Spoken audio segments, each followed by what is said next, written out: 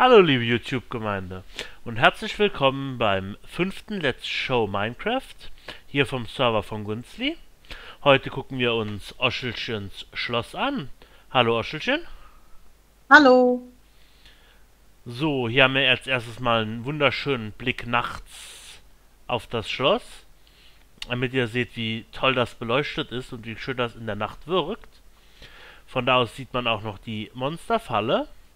Dann den neuen Hotelkomplex, den die Oschel gerade am Bauen ist, und das Baumhaus. Obwohl sie mir ihren einer Turm jetzt direkt in die Sichtlinie gepflanzt hat. Aber das Baumhaus werden wir uns ja auch ein anderes Mal nochmal im anderen Let's Show genauer angucken. So, dann teleportieren wir uns jetzt erstmal runter zum Schloss. Und dann gucken wir uns das Ganze mal aus der Nähe an. So, wie ihr seht, sind wir jetzt mal ganz locker und lässig hier hinten rüber geportet um hier vorne durch den Haupteingang reinzugehen. Bitte nach dir. Aber gern. Äh, hier habe ich überall so kleine Bäumchen gepflanzt. Die sind natürlich gecheatet. Leben äh, fand ich jetzt dekorativ. Äh, kann man natürlich nicht selber machen, ohne zu cheaten. Deswegen ähm, gleich mal zugeben. Gehen wir hier mal auf die Mauer. Was ihr da vorne seht, das verhüllt äh, das erste Projekt vom High Driver. Das ist noch nicht ganz fertig und wir wollten euch das äh, vorenthalten, was das ist. Deswegen seht ihr da so eine ja. wunderhübsche Dreckwand. So, die Mauer geht um das ganze Grundstück. Das Grundstück ist 100 mal 100 groß. Hier sieht man die ganzen Fensterfronten, ja, gucken, wir uns mal, gucken wir uns mal den Innenhof an. Die Mauer sieht ja überall gleich aus, denke ich mal. Ja, äh, die Mauer habe ich mit Lava und beleuchtetem Wasser ganz rundherum gemacht. Habe hier ein paar ähm, Stilelemente Brunnen, Lavabrunnen gemacht. Hm? Stilelemente Lavabrunnen gemacht. Ja, halt eben so ein bisschen dekorativer Hof, Faszinierend. Ich wusste gar nicht, dass Blu Blumen neben Höllensteinen wachsen. Wo sind hier Höllensteine? Dankeschön. Alter, die Glühsteine gibt es so, nur in der Hölle. Glühsteine, Glühsteine, okay. Okay. Ich habe überall Bänke aufgestellt, damit man schön die Sterne betrachten kann oder sonst was. Oder die Monsterfalle. Ja, komm, gehen wir mal rein und schauen uns das Teil mal von innen an. Hinten, ja, den Garten, hinten den Garten sind wir ja gleich von der anderen Seite noch.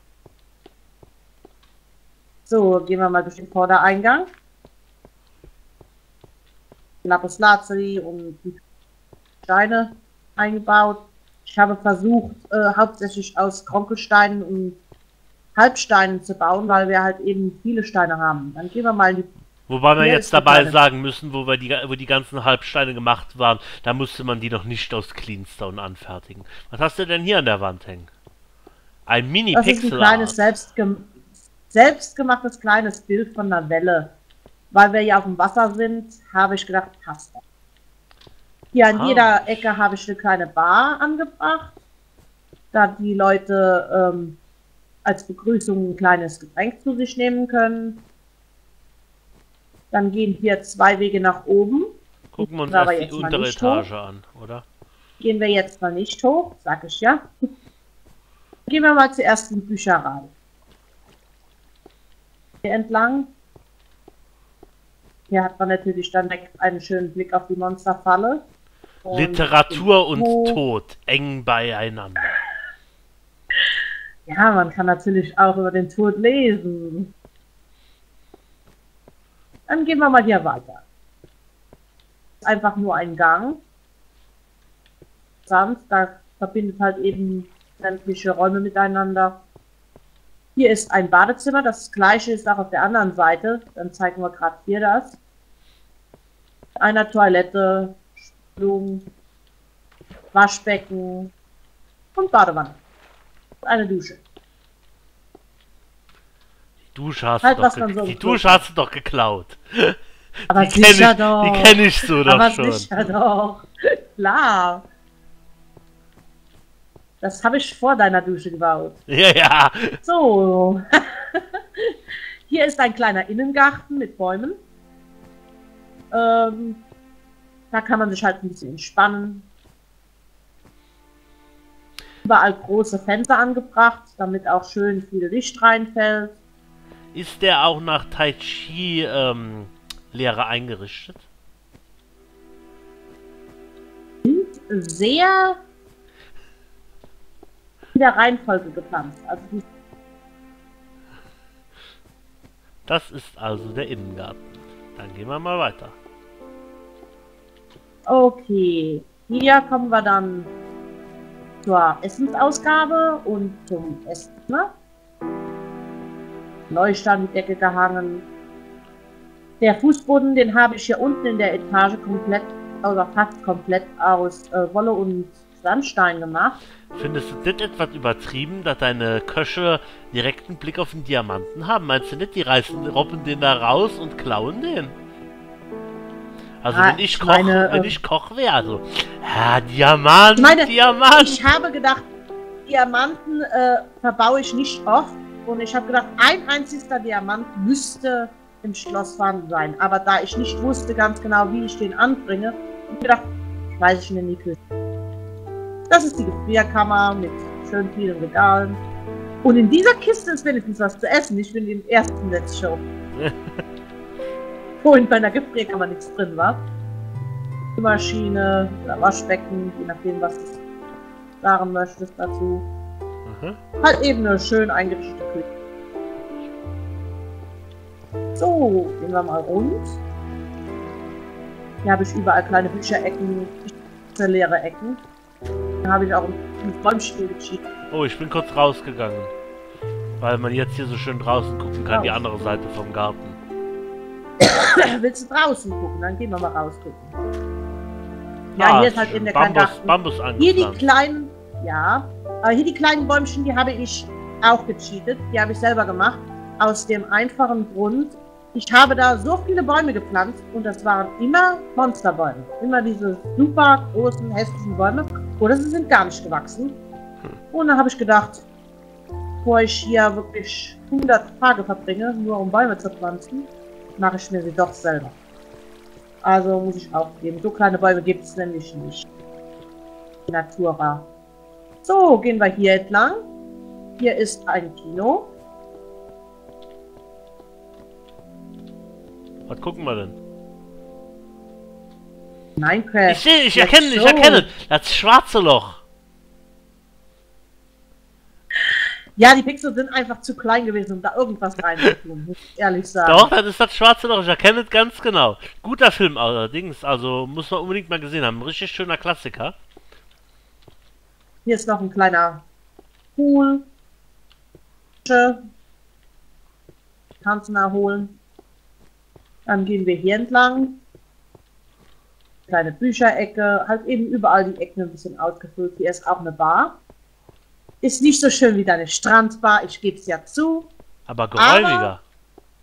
Geräumiger, ja. Ah, und edler. Ja, wieso? mit Wenn du goldenen Tischen. Deine Chill-Bereich mit einbeziehst, ist es nicht größer wie de deine Strandbar. Hatte so viel Gold gefunden, habe ich gedacht, ha, machen wir mal Goldtische hin. So. Hier sind wir dann noch wieder rund. Gleich. Ah, hier ist ist noch ein zweite Badezimmer. Das ist Badezimmer. dasselbe. Selbe Badezimmer. Brauchst nicht zu zeigen. Hier ist das Wohn Wohlfühlzimmer, kann man sagen. Und immer hast du den Blick auf so eine dreckige Mauer da hinten. Also ehrlich. Ja, wieso schmeißt du mir so ein Ding da vor, vor die Linse, ey? Ja, sonst hätten wir doch zu viel verraten. Das stimmt. So, dann gehen wir mal in den Tanzsaal. Hier kommen wir auch dann rund. Das ist also ein Rundweg. Hier sind wir dann wieder im Eingangsbereich. Und dann können wir hier direkt gerade durchgehen. Hier ist der Gang, den wir eben nicht gezeigt haben, weil der verbindet alles. Hi. Hier sind wir im Tanzsaal. Das ist Da schön, wenn man hier so tanzt, la la la, und dann La, in die la, Lava tanzt. Lass mich raten. Ja, das- das, hier, das hier wo Pix- das Sandstein Pixelart- ist, sollte ja die Tanzfläche sein. Also ehrlich. Und das Also die Pixel Pixel Art Art, die demonstriert einen Tag in Minecraft. Oder? Ja. Hier vorne Du kommt man an und baut sich in seine erste Wüste. Hütte. Genau. Da ist schon, äh, da ist schon die, die, Freu die. Freundin beerdigt, auf deren toten Rücken du an den Strand gekrabbelt bist. Ich habe etwas gesucht. Ich wollte erst einen Leuchtturm dahin machen, aber der hat kacke ausgesehen. weil ich brauchte was mit dem Leuchtstein. Also, äh, ich wollte da eigentlich kein Kreuzchen machen, aber es war das Einzige, was geblieben ist. Nur ich sehe ich seh einen. Fehler. Die Fische müssten Tintenfische sein. Weil richtige Fische. Ich habe versucht, einen Tintenfisch zu machen. ah doch, stimmt, Der man kann ja angeln war gehen. aber so nee, nee, man groß. kann angeln gehen. Ich habe das ganz vergessen. Ich Okay. habe das noch nie gemacht. Natürlich sind die Fische in dimensionalen von der Hütte ein bisschen groß. So, dann können wir hier hochgehen. Auch direkt in die zweite Etage. Hier ist dann ein Erholungsbereich und Tanzen. Alles miteinander verbunden. Auch schön überall hinkommt. Gehen wir mal zu den Schlafzimmern, wo wir auch unsere Abonnenten Die verewigt Schlafzimmer haben. ist das Besondere. Hier wir da wohnen hier, ab also- sofort unsere Abonnenten. Also Zumindest hier runter geht es dann wieder zum Eingangsbereich. Also vom Eingangsbereich kommt man auch hier nach oben. Ja. Auf jeden Fall alle Abonnenten, So. die wir bisher gekriegt haben, die konnten wir hier im Schloss unterbringen. Die nächsten werden dann in der Kathedrale untergebracht. Und zwar haben wir hier schon mal als erstes das Zimmer von äh, CMON 85. Ich weiß jetzt nicht genau, wie ich es aussprechen soll. Darkseid. Du hast Darkseid einen guckt schönen Blick auf den Startbereich. Darkseid passt ja eigentlich ins Kolosseum. Ja, das ist aber, er ist ja aber der nicht, nicht dem sein Minecraft-Namen und das wollte er eigentlich nicht. So, Ah, okay. gut. Er hat ein schönes Bett. Also die Räume sind alle gleich eingerichtet, nur halt eben jeder hat einen anderen Blick. Mhm. So, die nächsten Zimmer haben wir hier von Hallo 9876543. Du hast auch einen wunderschönen Ausblick auf den Startbereich. Jeder Abonnent kann eine Runde lesen. So. Wo ist der Fernseher? Ey, du hast doch ein Kino im Haus, ey. Da willst du Ich will Minecraft spielen, ich will einen PC im Zimmer. So, da haben wir das Zimmer von Paddy00 Minecraft. An dieser Stelle natürlich auch nochmal ein Dank an unsere treuen Abonnenten. Es werden von Tag zu Tag mehr. Das freut uns natürlich besonders sehr. Baue ich auch schon Deswegen ein müssen wir jetzt das mal hier das hier das Let's Show eigentlich auch schneller machen, wie wir eigentlich vorhatten, weil uns die Zimmer hier ausgehen und wir noch ganz schnell gucken mussten, dass wir hier noch äh, die Zimmer belegt haben. Äh, und hab zwar hier zum Beispiel von übrig. Kreuzi 97. Du hast auch die gleiche Aussicht wie die anderen. Ungefähr. Er hat-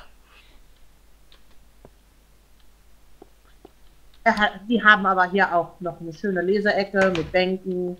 Aha. Und Bild. Kunst. Ich weiß bis heute nicht, Kunst. was das hier darstellen soll. Ich glaube, das ist eher Donkey so... Kong, Donkey Kong Platte. Ah, jetzt erkenne ich es. Gut, okay. Ich bin gut. So, hier haben wir das Oh. Zimmer von Ikorage. Ist auch wieder so ziemlich der gleiche Ausblick.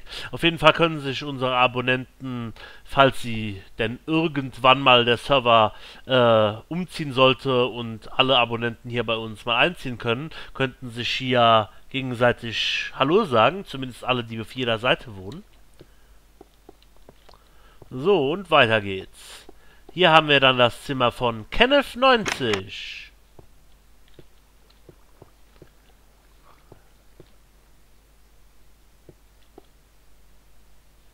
Auch natürlich ein Naja, ich habe die Zimmer. Fenster in, ähm, in den Zimmern alle sehr groß gehalten.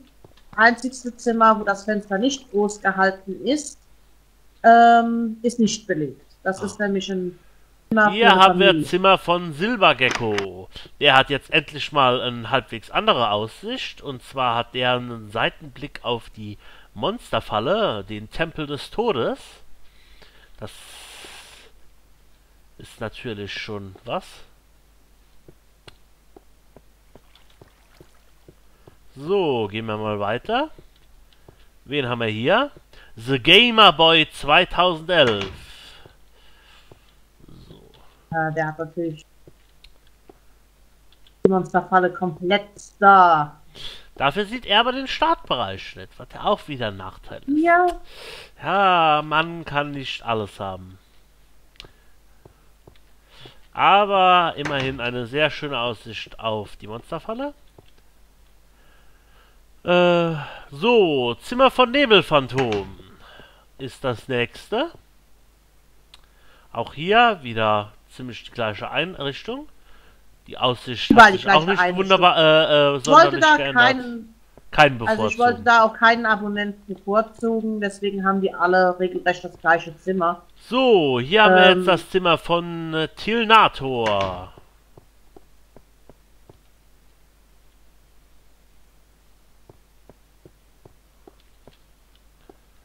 Und weiter geht's. Zimmer von Devil Donkey.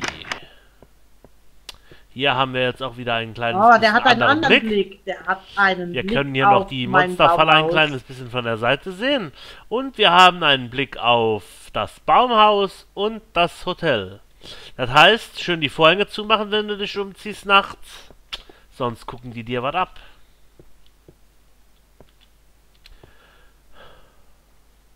So, das hier kann ich jetzt kaum aussprechen. Ich sag mal einfach Zimmer von The Pacificable. Äh, ich hoffe, das war richtig. Nicht, dass ich hier jemandem auf die Füße trete. Auch von hier aus wieder Ja. einen wunderbaren Ausblick aufs Hotel. Ist eigentlich kein Baumhaus, ist mehr wie ähm, äh, so ein ähm, ach Mensch, Ah, das Zimmer hat keinen Abonnenten. Ja, das sind diese Zimmer, äh, das sind die zwei so ein Familien. So. Zimmer von Ähm, Olin Meges. Hoffe auch, dass das richtig war. So, von hier aus hat man jetzt natürlich keinen Blick mehr auf die Monsterfalle. Aber immerhin. Da vorne Ja, wird mit Sicherheit auch auch noch was hinkommen. Und wenn das Hotel erstmal fertig ist, dann wird das auch ein schön herrlicher. Ausblick werden. So, was haben wir hier? F Zimmer von KM der Erste. Ich denke mal, das sollte man so aussprechen.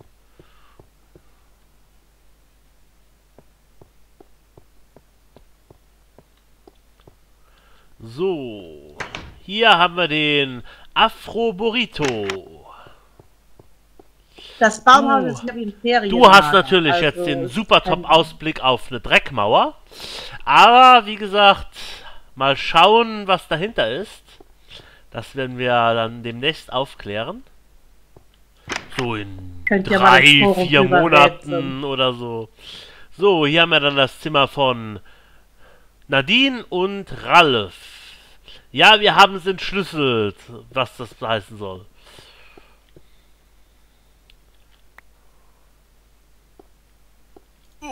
Weiter. So, ist das das letzte? Von glaub, Sora Ich weiß nicht, wo du angefangen hast. Weiß nicht, wo du angefangen hast. Ah, Kann das sein, dass das Glasfenster etwas größer ist in diesem Zimmer? Aber die Fläche dafür kleiner? Ja. Schloss ist natürlich nicht ganz symmetrisch. Oh, und Hier, die sind wir gestartet. Du hast auch nur auf der Etage Zimmer, oder? Ja. Nein, Äh, doch, oben natürlich nicht. Zimmer. Wir haben natürlich noch Da die Dachzimmer. Und zwar Da sind wir hier die Zimmer, wo die äh, für die Leute, die auf dem Server sind. Wir haben nat- äh, also auf dem Sollen wir Server nicht zuerst arbeiten. ins Bett gehen? Ach, damit man ein bisschen mehr sieht. Ah, können wir machen. Wäre praktisch. Hoffentlich springt mich kein Zombie an in der Zeit. Ah, ein Zombie. Ah nein, das warst du. So. Das ist mein Als ob es nicht passen würde, sind wir hier auch direkt schon vor Oschelchens Zimmer.